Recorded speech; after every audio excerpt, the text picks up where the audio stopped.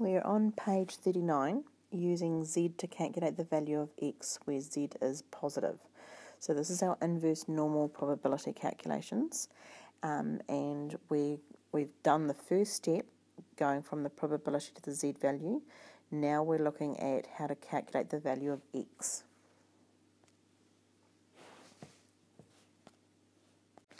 So we've got a our stand our backpack problem again and it, we're told that it is a normal distribution um, that has a mean of 3.3 and a standard deviation of 0.4 kg.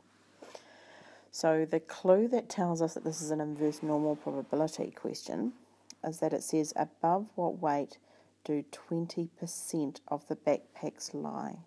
So it's giving us a percentage. As soon as we see a percentage, we know that it's talking about an inverse normal calculation. So the first thing I'm going to do, as always, is to draw my normal graph. So we've got our lovely normal distribution with our mean of 3.3 and our standard deviation of 0.4. So this is a little bit different to what it has been. Okay, note that this has changed. Now we've got to be very careful about figuring out which area we're shading, shading in. So it says above what weight do 20% of the backpacks lie? So what I'm looking at is I want to have 20% of the backpacks above some number. So that means I'm talking about an area that I'm just coloring in here that I want that area to be 20%. Okay, so that's what I'm trying to find is how that area there is 20%. Now, if we think for a moment about the normal probability tables and the graph that comes with it, that that graph always finds the probability for this area in blue that I'm just shading in. Okay, my beautiful art skills. So if if we think about, well, what do we know about the normal distribution itself? We know that half of it's above the mean and half of it's below the mean. So I know that if the total area here on the right hand side, that, that total area has to be um, 50%. Okay, so I know that that total area in red has to be 50% or 0.5. So therefore, how big is the area in blue going to be? Well, the area in blue must be 30%. Okay, so that's what we need to go and look for on our probability tables. We've also got to turn that 30% into a decimal. So divide that by 100 and that's going to give you a value of 0.3. And remember our next decimal place would be a value of 0, 0, 0. Oh, let me um, just get that so it fits on there. So we're looking up a probability of 0.3 zero, zero, zero. That's what we're trying to find from our tables. So when that's, no, better, let me write that down. That is our, give a label, that is our, no, that's not our z value. Undo that. That's our probability. And so now we're going to go back and look at, well, what is that z value? Look it up on our tables, and we'll find a z value of 0 0.89, no, not 89, 841.